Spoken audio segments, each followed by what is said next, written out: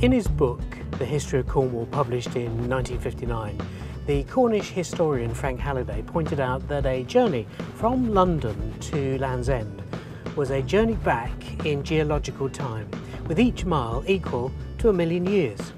It's also a journey back into the time of our ancestors.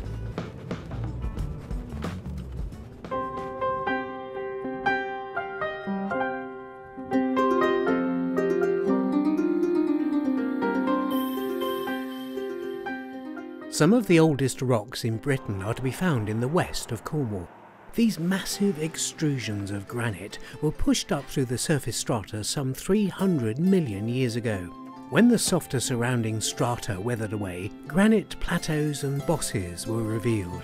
Here in Mount's Bay, St Michael's Mount is built on one of those granite plugs poking up through the surrounding slate beds. Its spectacular setting is only matched by its history, the earliest written record of which would appear to be that of the first century Greek historian Diodorus Siculus.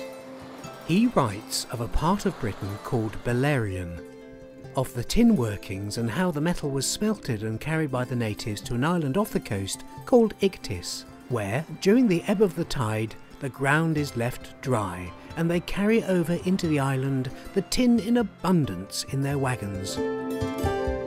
Diodorus further writes that the inhabitants are very fond of strangers and, owing to their intercourse with merchants, civilised in their manners.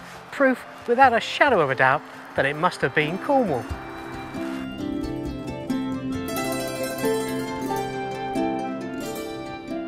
The moorland of West Cornwall is a place of deep secrets, an ancient landscape of mystery and magic.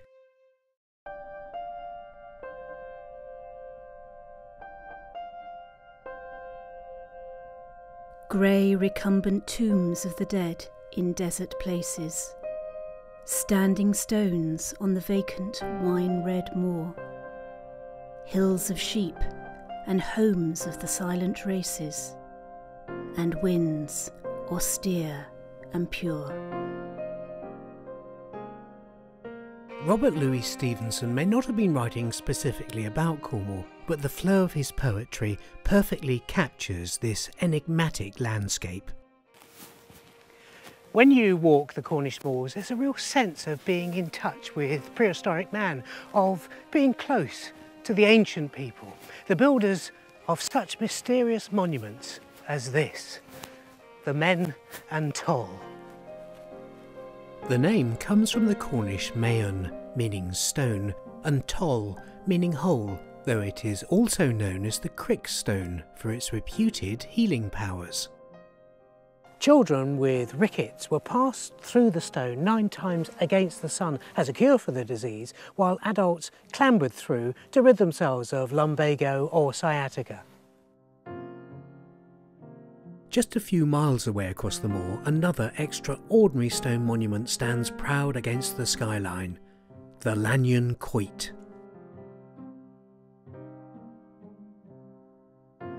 The quoit is the largest and one of the most perfect examples of its kind, and all that remains of a megalithic chambered long barrow dating from about 2000 years before Christ.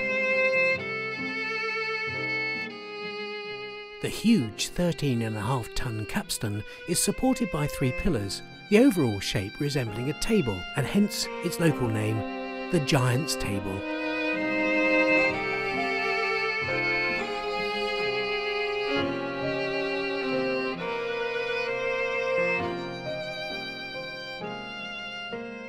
Legend says that King Arthur dined at this site on the eve of his last battle. At the gathering, Merlin predicted that Arthur and his chieftains would gather here again just before the end of the world. Nobody about at the minute. Looks like we're safe. Let's continue our journey even further westwards and further back in time. Close to the village of St Just on the rugged cliff edge of Cape Cornwall is one of the largest and most unique examples of a prehistoric cairn. The Ballowall Barrow has a long and complex history as a sacred site and incorporates multiple phases of use and funerary practice spanning the Neolithic and Middle Bronze Age periods.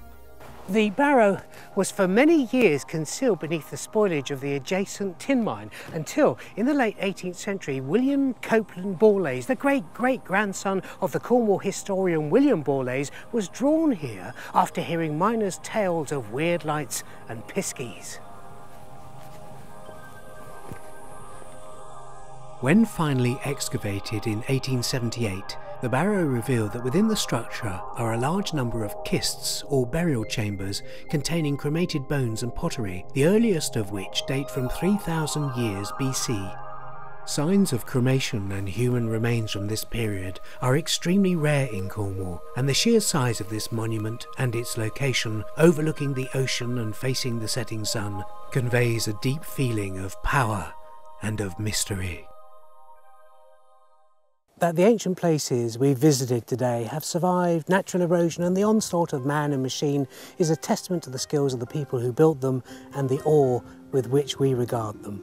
Long may they remain.